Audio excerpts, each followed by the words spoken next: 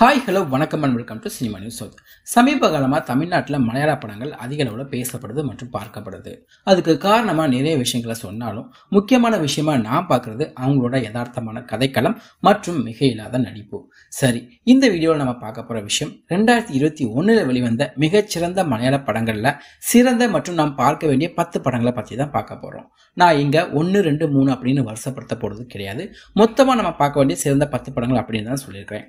வாங்க அது என்னென்ன படங்கள் அப்படின்னு பார்க்கலாம். முதல் படம் தி கிரேட் இந்தியன் கிச்சன் இந்த படத்தை இயக்கியிருக்கிறது ஜியோ பேபி சுராஜ் வெஞ்சாரமூடு மற்றும் நிமிஷா சஜயன் நடிச்சிருக்கிறாங்க. இந்த படம் பேசுகிற விஷயம் இதுதான். மதத்தின் பெயரால் ஒரு சாதாரண குடும்ப பெண் காலங்காலமாக எப்படி நடத்தப்படுறாங்க அப்படிங்கிற ஒரு நிதர்சனமான உண்மையை இந்த சொசைட்டியோட முகத்தில் ஓங்கி அறிஞ்சு பேசின படம்.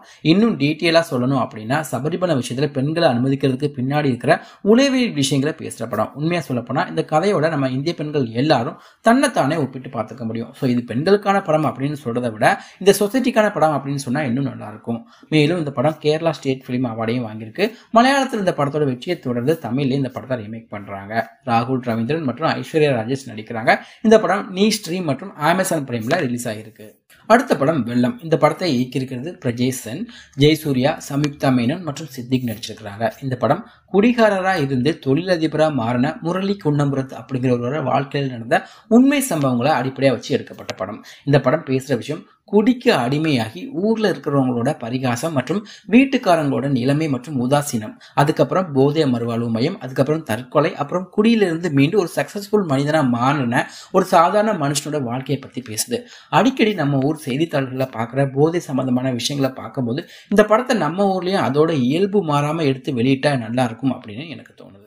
அடுத்த படம் மாலிக். இந்த படமும் கேரளாவில் திருவனந்தபுரத்தில் நடந்த ஒரு உண்மை சம்பவத்தை தழுவி எடுக்கப்பட்ட படம் தான் இந்த படத்தை இயக்கியிருப்பது மகேஷ் நாராயணன் ஃபகத் ஃபாசில் நிமிஷா சஜயன் மற்றும் வினய் ஃபோர்ட் நடிச்சிருந்தாங்க. இந்த படம் பேசுகிற விஷயம் இதுதான். சில விஷயங்களில் அரசியல் மற்றும் அரசு தலையிட்ட விரும்பாத ஒரு ஏரியா. அவங்களுக்கு ஒரு தலைவர் அதை சுத்தமாக விரும்பாத அரசு மற்றும் அரசியல்வாதிகள். இதுக்கு பின்னாடி இருக்கிற அரசியல் துரோகம் கொலை அப்படின்னு பேசுகிற ஒரு பொலிட்டிக்கல் த்ரில்லர் தான் இந்த மாலிக் திரைப்படம். இந்த படம் அமேசான் பிரைமில் ரிலீஸ் ஆகியிருக்கு. அடுத்த படம் நாயாட்டு. யதார்த்தமாக ஒரு போலீஸ் ஜீப்பில் அடிபட்டு இருக்கிற ஒரு ஆள். அந்த ஆளுக்கும் அந்த போலீஸ் ஜீப்பில் இருந்த மூணு சாதாரண போலீஸ்காரங்களுக்கும் முன்னாடியே இருந்த ஒரு சின்ன பிரச்சனை. அதை வச்சு அந்த போலீஸ்காரங்களை தங்களோட சுய லாபத்துக்காக வேட்டையாட நினைக்கிற அரசியல் மற்றும் அதிகார வர்க்கம். அதுக்கு பின்னாடி இருக்கிற தலித் அரசியல் மற்றும் தலித் மக்கள் எப்படி அரசியலை பயன்படுத்தப்படுறாங்க அப்படிங்கிறத ரொம்ப யதார்த்தமாக பேசுகிற படம் தான் நாயாட்டு. மார்டின் பிரகாஷ் இந்த படத்தை இயக்கியிருக்கிறாரு. குஞ்சாக்கோ பூபன் ஜோஜி ஜார்ஜ் மற்றும் நிமிஷா சஜன் நடிச்சிருக்கிறாங்க. இந்த படம் நெட்ஃப்ளிக்ஸில் அவைலபிளாக இருக்குது அடுத்த படம் ஹோம். தன் பிள்ளைகள் மேல் பாசம் இருக்கிற அதே சமயத்தில் இந்த காலத்துக்கு ஏத்தாப்புல தன்னை அப்டேட் பண்ணிக்கணும் அப்படின்னு நினைக்கிற ஒரு அப்பா. குடும்பம் தான் தனக்கு எல்லாமே அப்படின்னு நினைக்கிற ஒரு அம்மா. தன்னோட தோல்விகளுக்கெல்லாம் காரணம் தன்னோட குடும்பம் தான் அப்படின்னு நினைச்சு வீட்டுக்கே வராத மூத்த பையன். அதே சமயத்தில் அப்பா அம்மாவை பெருசா மதிக்காத பையனும் கூட. இந்த காலத்து மாடர்ன் கடைக்குட்டி பையன் அப்புறம் ஒரு தாத்தா. இப்படின்னு நம்மளை நாமே கம்பேர் பண்ணி பார்த்துக்கிற ஒரு ஃபேமிலி அவங்க வாழ்க்கையில் நடக்கிற சாதாரண விஷயங்களை சிரிக்க வச்சும் அள வச்சும் சிந்திக்கவும் வைக்கிற ஒரு சாதாரண படம் தான் இந்த ஹோம். ஆனால் மேக்கிங் தான் அந்த படத்தோட ஒரு பெரிய ப்ளஸ் ரோஜன் தாமஸ் இந்த படத்தை இயக்கியிருக்கிறாரு. இந்திரன்ஸ் மஞ்சு பிள்ளை ஸ்ரீநாத் பாசி மற்றும் நஸ்லின் கே கஃபூர் நடிச்சிருக்கிறாங்க. இந்த படமும் அமேசான் பிரைமில் ரிலீஸ் ஆகியிருக்கு. அடுத்த படம் திங்களாய்ச்சி நிச்சயம். டோட்டலாக புதுமுகங்களை வச்சு சாதாரணமாக நம்மளை சுற்றி நடக்கிற கதையை மட்டுமே வச்சு ஒரு மாநிலத்தோட சிறந்த ரெண்டாவது படம் அப்படின்னு அவார்டு வாங்கின படம் தான் இந்த திங்களாட்சிய நிச்சயம். ஒரு சாதாரண நடுத்தர குடும்பத்தில் ரெண்டாவது பொண்ணுக்கு நடக்க போகிற கல்யாண நிச்சயம். தன்னோட முதல் பொண்ணு பண்ணிக்கிட்ட காதல் கல்யாணத்தால் வந்த பயம். அதனால் எப்படியாவது சொன்னபடியே திங்கட்கிழமைக்குள்ள நல்லபடியே அந்த நிச்சயத்தை நடத்தி முடிக்கணும் அப்படின்னு நினைக்கிற அப்பா.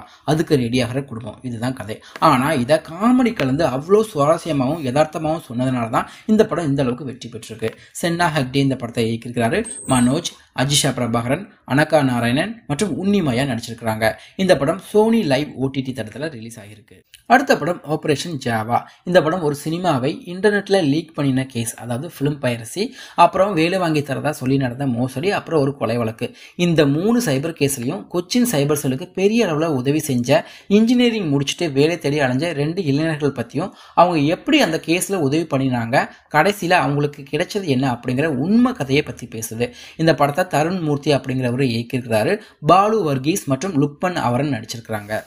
அடுத்த படம் வர்த்தமானம். டெல்லியில் இருக்கிற ஒரு யூனிவர்சிட்டியில் ரிசர்ச் ஸ்டூடெண்டாக சேர்ற ஒரு பொண்ணு அங்கே நடக்கிற பாலிடிக்ஸை எதிர்த்து கேள்வி கேட்குறாங்க அதனால சொந்த மதத்தில் இருக்கிற அடிப்படைவாதிகளாலும் அரசியல்வாதிகளாலும் அவங்க நிறைய பிரச்சனைகள் சந்திக்கிறாங்க. அதை பற்றி பேசுது இந்த படம். அது மட்டும் இல்லாமல் பசுவோட பேரில் நடக்கிற கொலைகள் தலித் மக்கள் எப்படி வேட்டையாடப்படுறாங்க கல்வி நிறுவனங்களில் நிறுவனங்களில் நடக்கிற அரசியல் பொய் வழக்குகள் அப்படின்னு இப்போ நம்ம கண் முன்னாடி நடந்துட்டு இருக்கிற நிறைய அரசியல் அநீதிகளை இந்த படம் பேசுது. உண்மையாக சொல்லணும் அப்படின்னா இந்த படம் ஒரு பெரிய போல்டு அட்டம் அப்படின்னே சொல்லலாம். பல தடைகள் தாண்டி தான் அந்த படம் திரைக்கு வந்திருக்குது.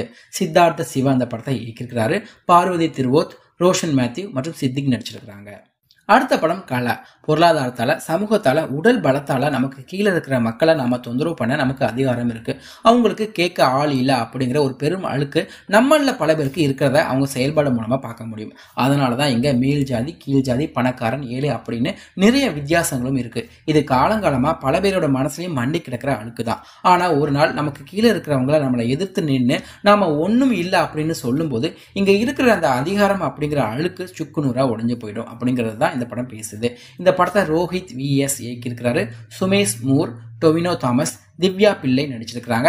தியேட்டரில் ரிலீஸ் ஆனாலும் அமேசான் பிரைம்லையும் இந்த படம் இருக்கு. அடுத்த படம் குருதி. இந்த படமும் மதத்தின் பெயரால் இங்கு நடக்கிற அரசியல் கொலைகள் அதுல பாமரர்கள் எப்படி தூண்டப்பட்டு தன்னைத்தானே அறியாம பலிகடா ஆகுறாங்க அப்படிங்கிறத பேசுது இந்த படம். இந்த படத்தை மனு வாரியர் இயக்கியிருக்கிறாரு.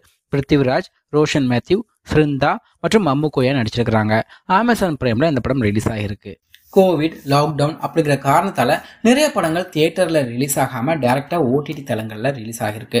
இது தவிர இன்னும் நிறைய நல்ல படங்கள் ரெண்டாயிரத்தி இருபத்தி ஒன்றில் ரிலீஸ் ஆகிருக்கு. அது எதெல்லாம் அப்படின்னு பார்த்தோம்னா love Drishyam two Joji Kho Kho Aarkkariyam one Vaanku Aanum Pennum group இங்க நான் குறிப்பிட்டிருக்கிற படங்கள் எல்லாமே என்னோட ஒப்பீனியன் தான். இதுல நீங்க எந்த படமெல்லாம் பார்த்துருக்கிறீங்க எந்த படம் உங்களுக்கு பிடிச்சது அப்படின்னு கீழே கமெண்ட் பண்ண மறக்காதீங்க. கூடவே நம்ம சேனலையும் சப்ஸ்கிரைப் பண்ண மறக்காதீங்க.